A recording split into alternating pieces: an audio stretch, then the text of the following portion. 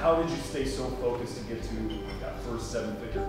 You know, it's it's funny, but it's it's my I always remember my dad's little face.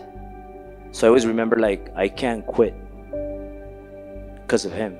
So every morning, like when I felt like quitting, I would remember when my dad took me to Beverly Hills, which was Bel Air. He corrected me, and he took me and I saw this mansion.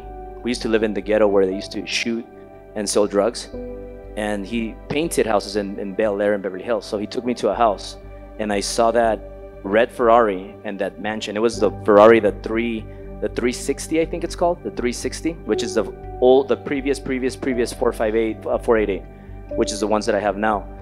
I didn't know that though, but kids know what uh, exotic cars are. Kind of like a guy when you see a hot girl, you, you're like, I know, you know that she's a hot girl. You know, everybody turns and looks. When kids see Ferraris or Lambos, they know what they are. Just it's, it's just they just know. Like kids are always like they want me to like rev, rev the engine, so they know what they are. So I told my dad, how come? I, and I looked at my dad in the, in the eyes and I told him, Dad, why don't we live here? Like everything is green, a lot of trees, the homes are nicer in the car. And then he told me that that wasn't for us.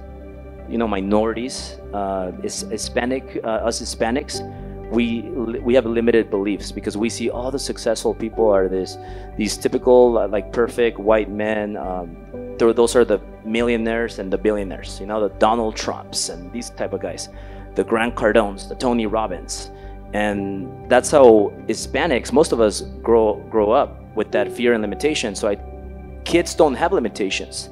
Like berlin doesn't ask Syl, mommy mommy mommy can you please give me some milk they're like like, you know give me that tit. And and, and and and and she has to give it. She has to give it up. So like you like those kids are like that. They believe anything they can achieve. So my dad i told him i would never quit because he told me if as long as you don't quit and you work longer harder than everybody else you're gonna get there.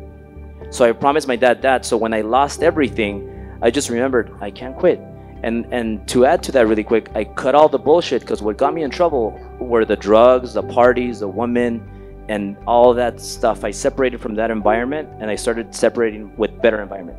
I'm gonna drink with the billionaire. I'm gonna drink with people that make me better. I'm not just gonna drink with my buddies to watch a basketball a basketball game. So I cut all that bullshit and I focused on improving every year. Thank you.